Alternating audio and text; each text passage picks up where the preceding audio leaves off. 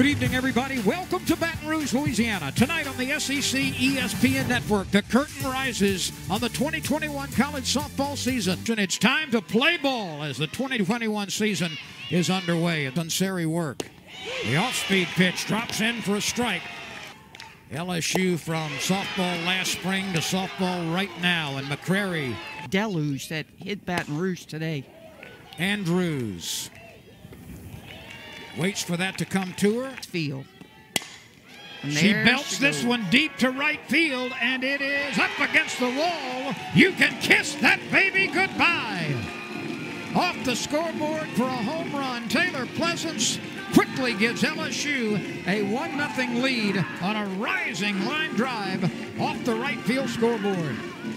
She is as complete a ball player as you'll ever find wear a Tiger uniform. She is smooth as silk at shortstop, makes any play, makes all the difficult plays, and she will just take this ball and bounce it off of the scoreboard in right field. She had four homers last year in 24 starts, and she homers in her first at bat in 2021. Seen it before. She hits one deep to left center field, back into the darkness. It's over the wall. Pucker up and kiss that baby goodbye. A drive over the right field wall by Pleasance, a drive over the left field wall by Doyle. Back to back bombs for LSU 2 0. Great piece of hitting there for Doyle. She jumped all over that mistake. Valero had her almost out on the pitch before. It was a good curveball that Doyle probably shouldn't have swung at, but she was all over. I guess this was a, a rise ball. It was definitely up, but it was up and out of the park. Doyle had a couple of home. Well, the coaches have had to manage a lot of different scenarios this year. Georgia Clark pokes that one on a line out into right center field. She's on with a base hit. Not many 18 driven in. Cummins thought about it, but laid off of it, and the bases are loaded. And that hits her. So Tidwell gets a bruise and an RBI. Out to left field. This one is poked. It's playable and caught by Peyton Williams. Sunseri went upstairs. Down in order then. All right.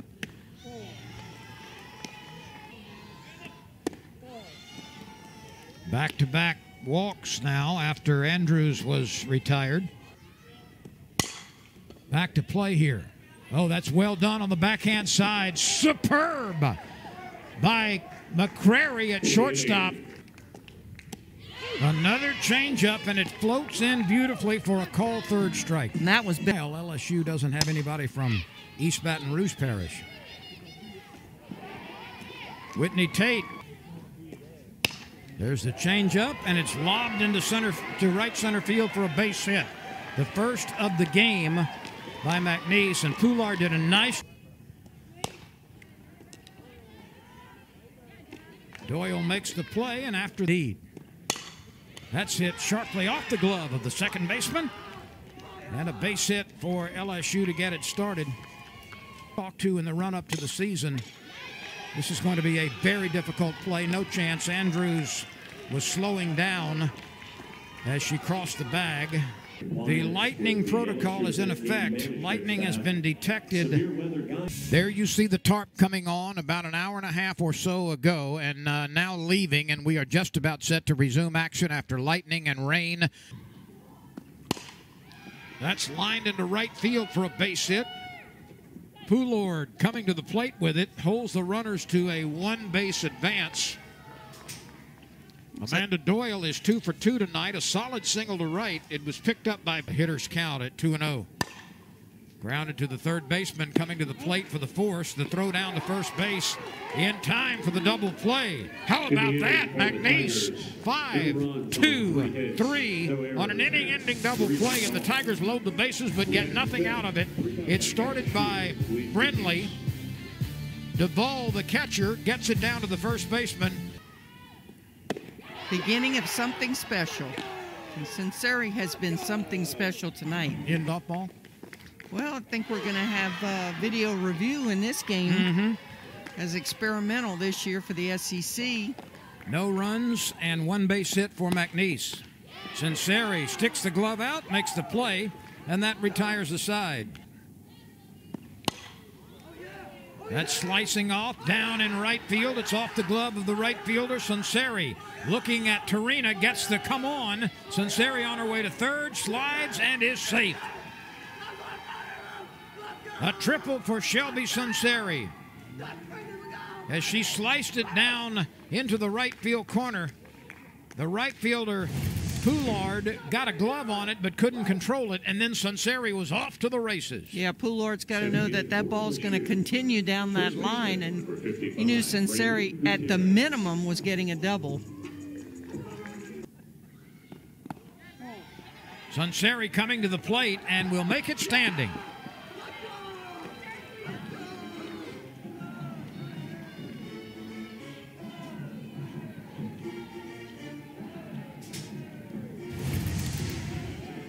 You see everybody kind of elbowing Sunseri coming in.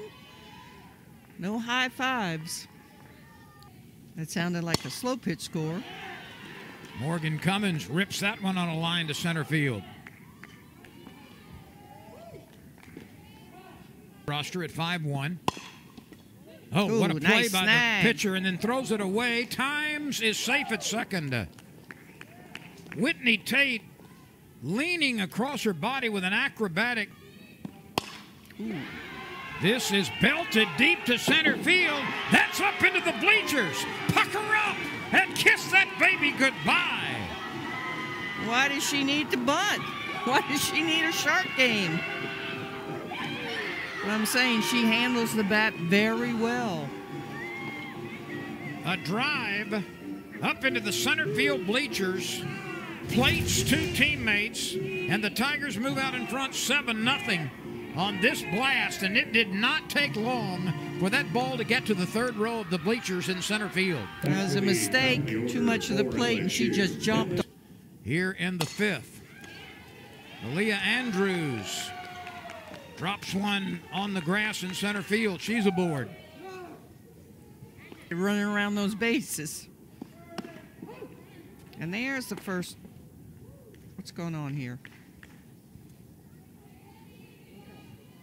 Is that a no pitch? I think so. No pitch. I, Andrews is going back to the dugout, so Leaving early, I evidently she left prematurely. Since then, Sunseri has retired six in a row. This could be trouble, and it drops between Tidwell, the second baseman, and Pleasance, the shortstop. That was a parachute drop base hit. The Tigers came from Briggs with two aboard in the fifth. There may be a play. Did she get it? Yes, she did. Now the throwdown on the tag. The runner is safe at second base, but a heck of a play by Morgan Cummins up against the screen, somehow getting the leather of her glove between the screen and the ball descending. Terrific play. I thought maybe she the screen was gonna.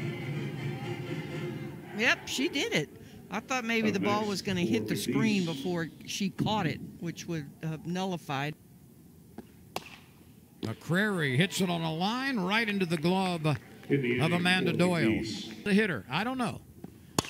I'm not quite sure either, but she's a heck of a hitter. That ball is driven out into center field. And I think it's out of here. It is. We have had no call from the umpire, but Sunseri lines it into the center field bleachers. Pucker up and kiss that one goodbye. And that's the end of the game as Shelby Sunseri follows the triple in the fifth inning with a home run in the sixth. She swings a very powerful bat. And Beth Torina talks about she's the first one here and the last one to leave all the time. So LSU gets home runs from Pleasance, from Doyle, from Briggs, and from Sunseri tonight. As we take another look at this, it's hit on a line and into the first row there, just above the white line. So LSU is a winner on opening night. That wraps it up. We'll have more action tomorrow, more action on Saturday and Sunday as well.